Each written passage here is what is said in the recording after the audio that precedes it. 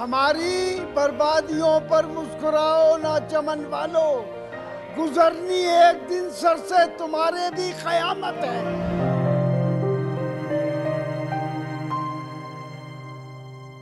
नमस्कार, विस्तार न्यूज़ देख रहे हैं आप। मैं हूँ आपके साथ सूरज तिवारी। इस वक्त की बड़ी खबर जो है उत्तर प्रदेश से आ रही है। उत्तर प्रदेश के कद्दावर नेता और सपा से सांसद शफीकुर रहमान का तिरानवे वर्ष की उम्र में निधन हो गया है। आपको बता दें, मुरादाबाद के एक निजी अस्पताल में उन्हें पिछले दिनों भर्ती कराया गया था। लंबी बीमारी से वो पीड़ित थे और आज उनका जो है मुरादाबाद के निजी अस्पताल में निधन हो गया है। इसको लेकर समाजवादी पार्टी के जो मुखिया हैं, अखिलेश यादव ने भी दुख व्यक्त किया है और ट्वीट किया अखिलेश यादव ने क्या लिखा है वो हम आपको बता देते हैं।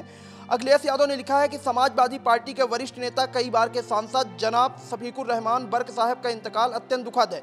उन्होंने भी शोक संवेदना व्यक्त की है। आपको बता दें कि उत्तर प्रदेश की राजनीति में एक कद्दावर नेता, उत्तर प्रदेश की राजनीति में अपना अहम योगदान रखने वाले सफीकुर रहमान का आज निधन हो गया है। चार बार वो विधायक रहे हैं, पाँच बार सांसद चुने गए हैं। उन्नीस और उन्नीस सौ सतहत्तर में विधायक चुने गए। 2009 में बसपा से सांसद चुने गए। वहीं 2014 में वो पाला बदले और समाजवादी पार्टी में गए। लेकिन समाजवादी पार्टी में जाने के बाद उनको हार मिली। लेकिन 2019 के मोदी लहर में भी सफीकुर रहमान बर्क ने जीत हासिल की थी और लगभग एक लाख से ज़्यादा वोटों से वो जीत कर लोकसभा पहुँचे थे।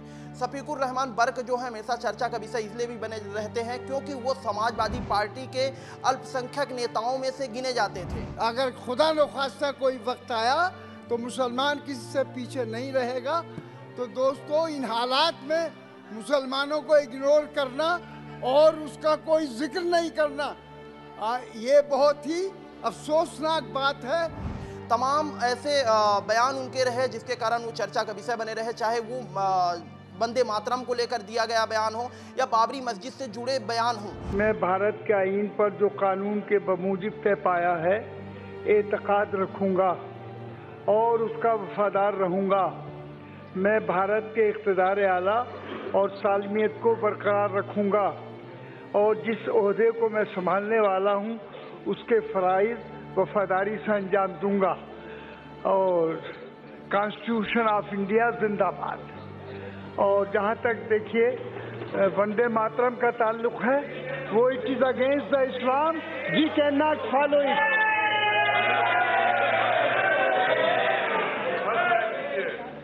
आपको बता दें, सफीकुर रहमान वर्ग पर अखिलेश यादव खूब भरोसा करते थे और वही भरोसा था कि इस बार भी उनको चुनावी मैदान में लोकसभा का टिकट देकर उतारा गया था।